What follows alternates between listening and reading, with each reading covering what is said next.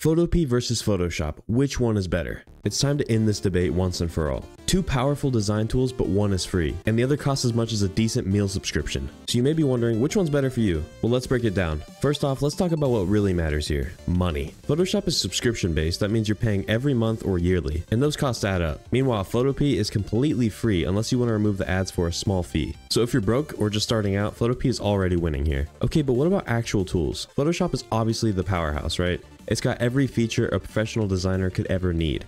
Advanced selections, 3D effects, AI powered tools, you name it. But here's the thing Photopea has like 80% of what the average user needs. You can open PSDs, work with layers, masks, and even use smart objects. But if you need heavy duty features like super advanced retouching or AI filters, Photoshop is the winner. Now here's where things get interesting. Photoshop is a beast, but if your PC is a toaster, good luck running it. Photopea, it runs entirely on your browser, so no downloads, no installs, and it even works on a Chromebook. So if you're rocking an old laptop or just want something quick, Photopea is definitely the way to go. Okay, but what if you get stuck, right? Photoshop has an insane amount of tutorials, courses, and forums, since it's been around forever. You'll find guides on literally everything, and I mean everything. Photopea, on the other hand, not as many in-depth tutorials, but it's basically Photoshop Lite. So most Photoshop guides still work on Photopea. Plus there's an active Discord and subreddit where you can ask for help. But here's something cool. I have over 300 Photopea tutorials on my channel, so if you want to master it, I've got you covered. Just check out my playlists. And if you want even more premium content, check out my channel membership right here.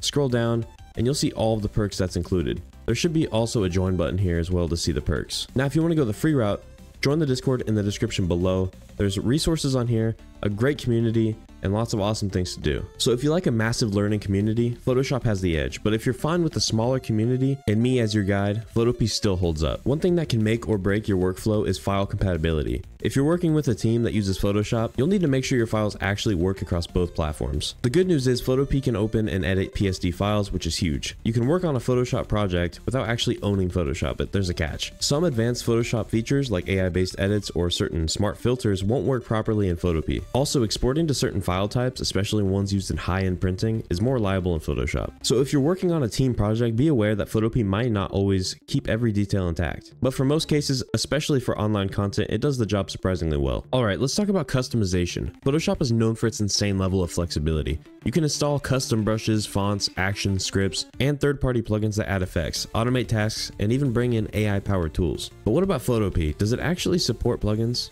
Yes, it does, and that's a huge plus. You can find various add-ons and you can even install custom fonts and brushes. However, the selection is nowhere near as big as Photoshop's. So if you're the type of designer that loves tricking out your software with tons of custom tools, Photoshop is the better choice.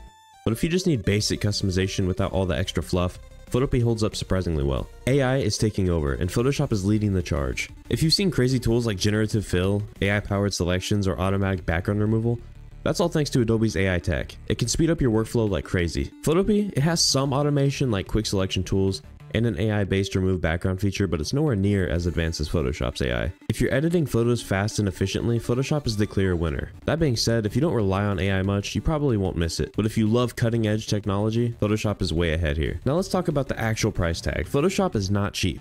It's a subscription-based service that costs around 20 to $60 per month depending on the plan you choose. Over a year, that adds up fast, and if you stop paying, you lose access completely. Meanwhile, Photoshop is 100% free, no subscriptions, no paywalls, you just open your browser and start designing. There is a premium version for around $5 a month that removes ads and speeds things up, but all the core features stay free. So if you're on a budget, Photopea is unbeatable, but if you need Photoshop's advanced tools, that can possibly justify the cost. It's still the industry standard. Alright, it's time to finally settle this debate. So who should use Photopea and who should stick with Photoshop? If you're a casual designer, student, or just need quick edits, Photopea is perfect. But if you're a professional graphic designer, photographer, or need industry level tools, Photoshop is still king. If you were to ask me, Photopea will always be the winner. The creator has done so much on his own, and done so much for the community, that alone is a reason to choose Photopea. So which one is right for you? Let me know in the comments, and if you want to see more stuff like this, or some awesome design tutorials, don't forget to subscribe. That's all I got for you guys today.